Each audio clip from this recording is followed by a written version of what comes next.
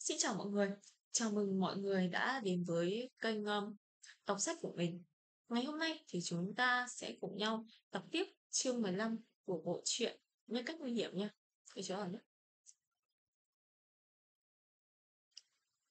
Chẳng qua khi ấy hai người còn đang chỉ đối phương là nghi phạm, bây giờ hung thủ thật sự đã xa lưới, đang thành thật nhận tội trong phòng thẩm vấn. Với Minh Nhuệ bắt đầu lấy lời khai, sao hai người lại nghe ra được cuộc gọi có vấn đề? Dù Giải Lâm có ăn nói sở miệng đến đâu cũng khó nói ra được nguyên nhân cụ thể trong này. Cứ như thể chỉ là hắn phát hiện ra một người khát nước cần đi uống nước. Chuyện ăn cơm nước, chuyện ăn cơm uống nước không có gì để kể hết. Trực giác. Với Minh Huệ Qua chuyện lần này, với Minh Huệ mơ hồ cảm thấy thay vì nói trực giác, không bằng nói đây là kiêm phú nguy hiểm nào đó. Quý Minh Huệ lại nói cánh cửa đó là ai đặt? Cậu ấy. Giải Lâm nói, có dĩ bảo cậu ấy không đóng giả quản lý tài sản với tôi, khi cậu ấy thật sự đóng quên giống. quý Minh Nhuệ rất tán đầu, Đúng đó, kỹ năng diễn xuất của cậu ấy thật sự không ổn, nếu không thì cũng không, cũng không không, cũng không đến có chút tiếng tăm nào từ sau khi tốt nghiệp đại học viện điện ảnh. về nhà dịch edit thôi có vấn đề.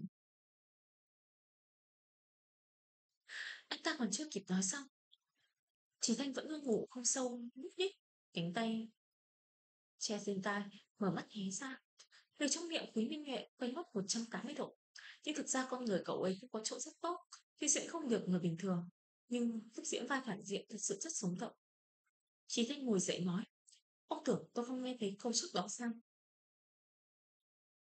Thực ra, đến một vài vai diễn mà Trí Thanh thử vai thành công, hầu như có ai làm người tốt.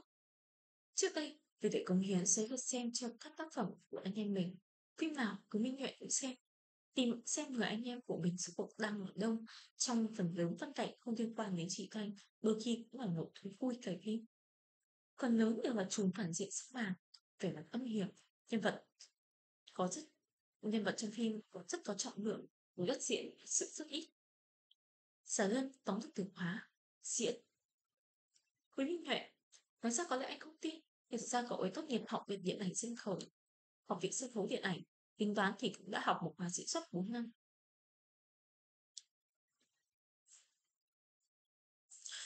Sài Long nhớ lại lúc lên xe, câu nói chú là quản lý tài sản, từ thần thái đến giọng nghiệp đến không đạt chuẩn, cười một tiếng.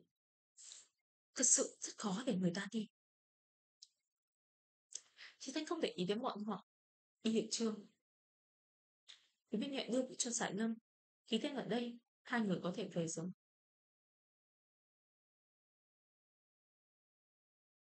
Suốt quá trình này, tay chỉ thanh đều rụt vào trong tay áo. Chờ giải lâm ký xong, lúc này mới miễn cưỡng thỏ tay ra. Khá quen thuộc rút tờ khăn giấy ở bên cạnh, cách lớp khăn giấy, cầm cây bút mà giải lâm đưa qua. cũng cần ghét bỏ đến thế chứ. Người mất chúng tôi sạch sẽ đều như này giống cậu sao? Tôi bị khá nghiêm trọng. Trí Thanh thẳng thắn thừa nhận, ký tên xong lại nhấc cây bút, về lại tay hắn, Vô tự nhân giấy lại nói Cho nên bất cứ lúc nào cũng cách xa tôi ra một chút. Vậy là cuộc hợp tác ngắn ngủi của hai người đã xong Đã khôi phục trạng thái trước đây. Giả Lâm giống như nghe không hiểu Sáu chữ cách xa tôi ra một chút. Đi không? Tôi lái xe đưa cậu về. Về mặt gì thế? Vừa rồi cũng không phải chưa từng ngồi. Trí Thanh vừa rồi không được chọn. Võ Trí Vân bước ra khỏi phòng tử vấn thì nghe thấy đoạn đối thoại này, còn chưa bước vào đã chạm mặt với Trình Thanh, mở cửa bước ra. Giải Lâm nói đằng sau anh, giờ này có lẽ không gọi được xe đâu. Tôi đưa cậu về mà thôi. Cậu buồn ngủ đến độ mất đỏ lên rồi. Trình Thanh, anh đưa người khác về nhà như thế, không bằng đổi nghề làm tài xế đi. Vừa rồi Trí Thanh ngủ mười mấy phút, sau khi thức dậy lại cảm mệt hơn, đôi mắt thỉnh đỏ. Vẻ ngoài của anh rất dễ nhận ra mái tóc đèo đen, hơi rụng xuống che khuất mắt. Môi đỏ đã đứt vào trong túi mí mắt không có tinh thần phục xuống sáng vẻ không quan tâm đến ai. Dạ vâng, Giả lâm lại chào hỏi với võ trí văn ý trước nhé.